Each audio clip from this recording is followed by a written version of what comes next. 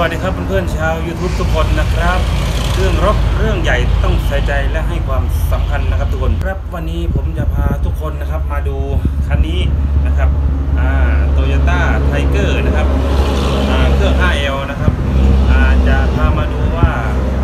อ่าอาการที่สายพานมันขาดอะมันเป็นยังไงนะครับทุกคนนะครับไปลากมาวันนี้แหละนะครับ แต่ผมสงสัยว่าสายพานมันจะขาดนะครับ สายพานตรงสายพานเราลิ้นนะครับนะครับ เรามาดูกันว่ามันมีอาการเป็นอย่างไรนะครับผม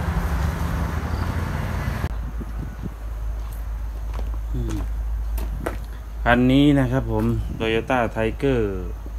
ปี 98 นะครับผม รุ่นรถก็ LN นะครับ 157R นะครับ ใช้เครื่อง 5L นะครับทุกคน นะครับ3,000นะครับ3,000 cc เครื่อง 5L นะครับ รุ่นแรก ๆ เลยนะครับ ผมไทเกอร์รุ่นแรก ๆ นะครับ ยังใช้เครื่องตัวนี้อยู่นะครับ เครื่อง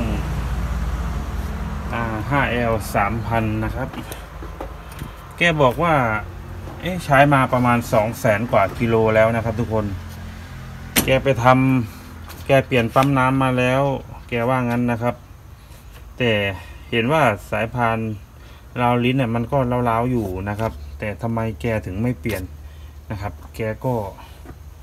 คงจะรอให้มันขาดนั่นแหละนะครับผมนะครับ ก็ภาวนาว่าอย่าให้มันเป็นอะไรมากนะครับ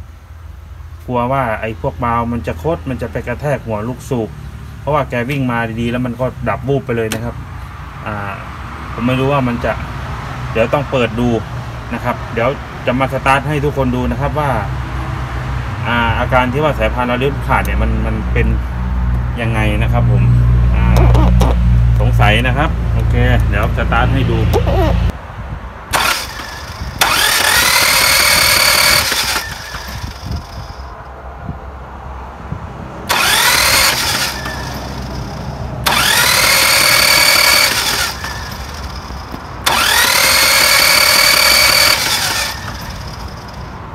ไม่ติดนะครับ ทุกคนรู้สึกว่าเครื่องมันจะ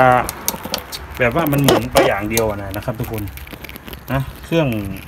อข้อเหวี่ยงมันมันจะหมุนไป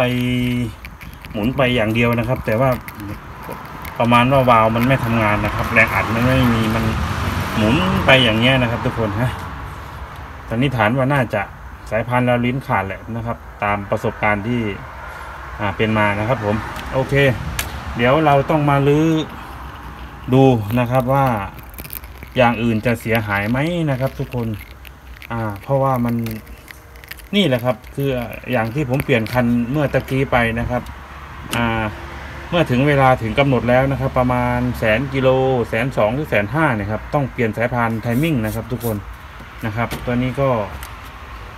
ถือว่าสำคัญนะครับ มันหมดอายุนะครับสำหรับเครื่องยนต์ที่ใช้ สายพาน timing นะครับทุกคนโอเคอ่าขอขอบพระคุณที่รับชมด้วยความปรารถนาดีจากช่างมาร์คอินดี้นะครับผม